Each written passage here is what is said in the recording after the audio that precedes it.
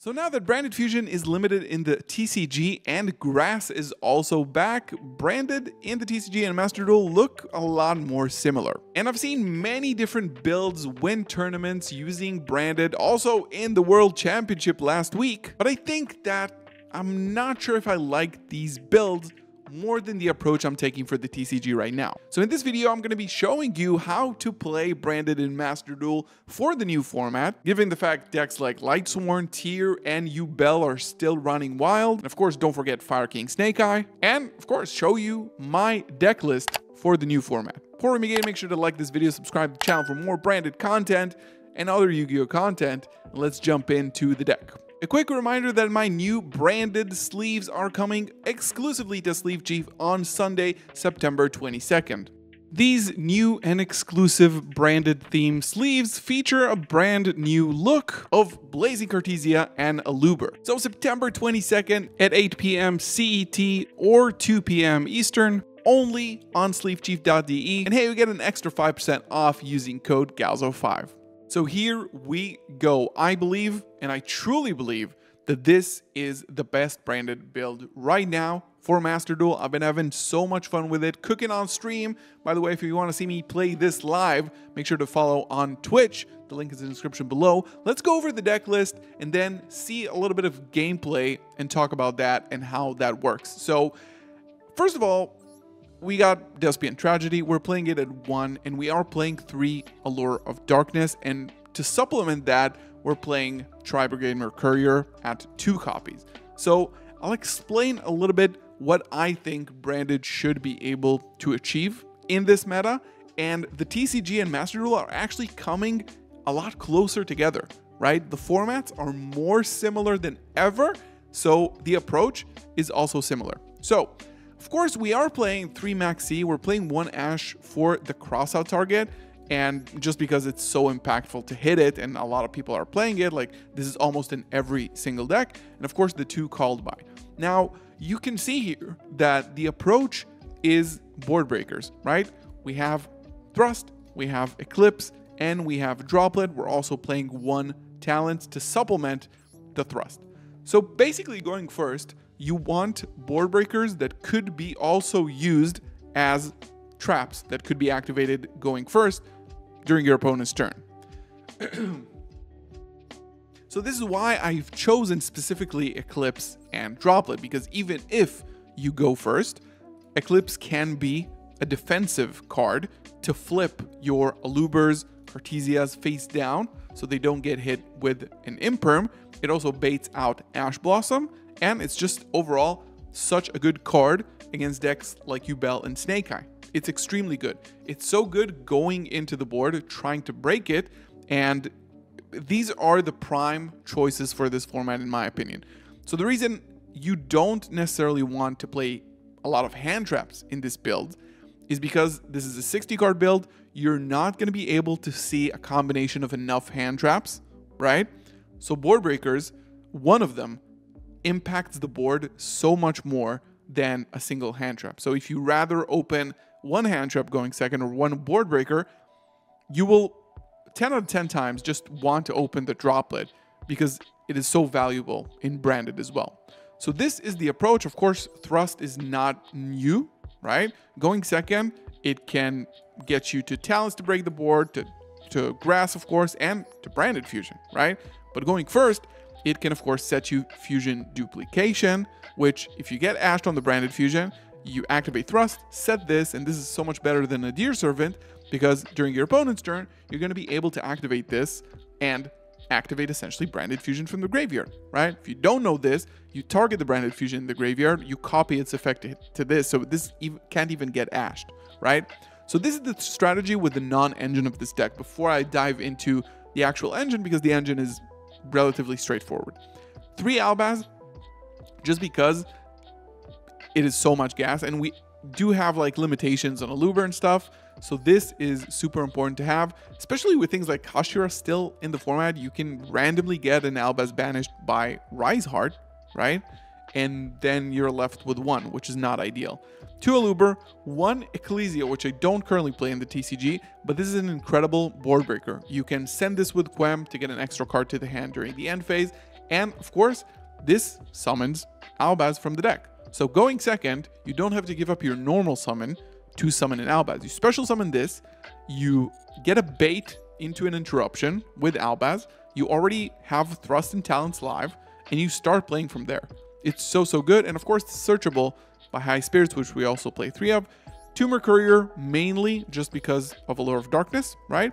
Kit, because Branded Fusion is at 1, and 1 Sharon, just because it's so impactful with Grass. You can go into Aquarius or Dragostapelia or something like that, or just even a Lubellion, the Searing Dragon, because this is a dark monster, and it's just extremely good. Also, this could bait an Ash, because Tearlaments is super popular right now in Master Duel. You can actually activate this from the hand and actually get Ashed on it, and which is just incredible in my opinion. Three Cartesia, just because this is a starter you always want to see. In combination with this, you send an Albaz from the deck, this becomes live. Now you can protect your Aluber or Quem, which we also play two of, just because this is a 60 card build, and you want to be able to summon one during your turn, and then possibly if you get hit with Nibiru or any Bystial, you can tag out Granguignol to summon another Quem from deck, if they out the first one, because this is a very important piece of to the end board. One Magnum and one Saronir. Unfortunate that this is actually at one. This is a branded hit specifically because if you think about it, in the OCG currently, this card is the only Bystial that is a 3. So this is the branded hit. Like this and High Spirits is obviously full combo, right? Um, but it's currently at 1. But we do play 3 Albion because, again, this is also very, very good with High Spirit. So you can activate Albion, send Retribution to the graveyard from the deck as cost, and then you can chain this, send the Albion. You don't get to draw a card, but you put a dragon in your graveyard from the extra deck as well. So you can put an Albion, the branded dragon. You get this into the graveyard, and this can search you for Quem, which on normal summon can dump this. So it's essentially searches branded fusion, another way to branded fusion. One, Lubellion, just because it's super important for the combo to make sure you put branded Lost on the board and Albion in the graveyard. And I've already made a video about this. This is Puppet. It's all good. Like this, no deck can play through this. Um, just because decks don't really play board breakers in Master Duel.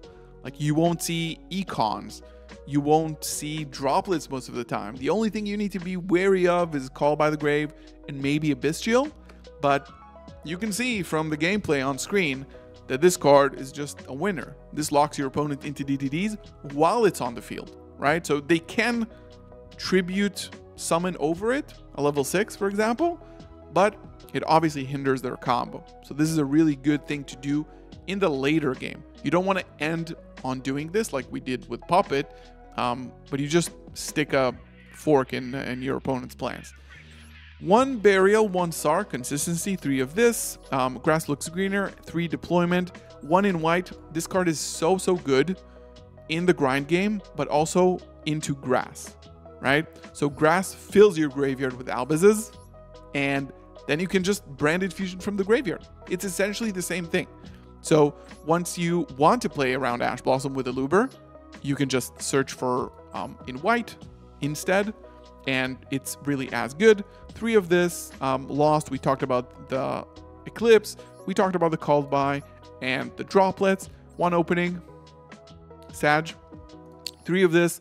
Great card. Searches any card in your deck. Gets you an extra card in the hand during the end phase. Just incredible, really.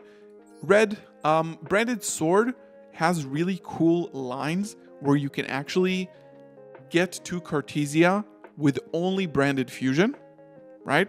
Um, probably I'm going to show it on screen, but essentially you go for an Albion with Cartesia, then you banish the Cartesia and the um, Fallen of Albaz, right? For Granguignol, Granguignol sends Saronir, which can dump this, and then you banish this, get your Cartesia into hand, and then you can normal summon the Cartesia, fuse away with it, make a Dragostapelia, put your Albion in the graveyard for, you know, branded opening in the end phase, get Quem, Quem gets Albaz. Just from one branded fusion. Usually one branded fusion is not that good of a one card combo, but this makes it a lot better. One dupe and one retribution. Extra deck, Stapelia. This card is incredible, just a must must play. Two Branded Dragon, one Quaeritis, two Mirror Jade, one Searing, one Flex, honestly. Uh, I'm, tr- I'm still, because I don't play Master Duel that much, I'm still trying to gauge like what's the actual meta right now. And this could be a Masquerade put extra pressure, makes your Shirin much better in the graveyard, so consider that. Two Granguignol, I think if you can afford the, the dust for the extra UR, this is really important because again, once they out it, and you don't want to end on this lock on the board. You want to end on your normal board, and then during your opponent's turn, make another Granguignol, send this, etc. Right? This is why you need two Rinworm Sanctifier and Guardian Chimera. So yeah, I think I think it's an excellent pick to play right now. It's also very very good into Max C. So you can see here, I think this is Fire King Snake Eye. Just Albion Sanctifier, we got a negate in hand and retribution on the field. Basically checks the entire deck here, right? Um, we do manage to negate the Bellstar here, Ponix, and eventually, eventually we're gonna have to make a play with Albaz. We get hit with a call to buy here, which is still fine. We negate this, right? So we have follow up with Branded Fusion, and they're only left on the Bellstar. And next turn we can cook, of course. So yeah, I think the deck is super resilient, very good into Max C, very powerful into like a one card combo with Branded Fusion. And I think with Grass, it's also cool to see that the decks are a lot more alike right now in the TCG and the OCG, and I'm really, really enjoying that. And it's super, super fun. Um, we go into Albion here, gets hit with the Imperm. It's a bit of a grindier game now. We have Albion in the end phase, plays Branded Lost. We don't want to kill the, the Bellstar just because they will get value out of it during their turn. And we have Branded in red Ash Mercurier here. They already used one Call by the Grave, so it's a little bit better. Skyburn. We Ash the field spell. They chain Skyburn. And we get the Albaz here because we want to get Branded Lost activation. So this will pop, this will pop. Garunix, Lubellion. We don't need to negate the Garunix right now. We will negate the Kirin though, right? Because we do make a Mirror Jade.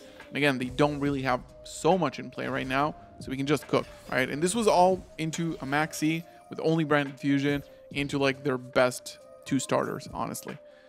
Um, we this placing the Mirror Jade in the spell and trap zone is really good because we can only control one and we control it while it's in the spell and trap zone, right? So you can't summon another one. Branded Sword grabs the Albaz, so we have something to summon. And now we do this again. Go for a Lubellion. Or just the Titaniklad, of course. And uh, we get the Cartesia back to hand. Just like incredible end phase for this deck. So, so much. Draw into the third Albaz. This goes back to hand. And now basically we just go for the kill. Cartesia, Aluber, Grit, Branded White. This is why it's so good. It's just Branded Fusion 2.0. Lubellion here. I go for the Lubellion because I want to shuffle the Albaz into my deck. Because I do shuffle just both of them. And we just go from game uh, for game right here. Thank you so much for watching. Leave your comments below and your thoughts. You're probably more versed in Master Duel than I am. So this is just my suggestion. Again, thank you so much for watching. Like the video, subscribe. I'll see you in the next one. Peace.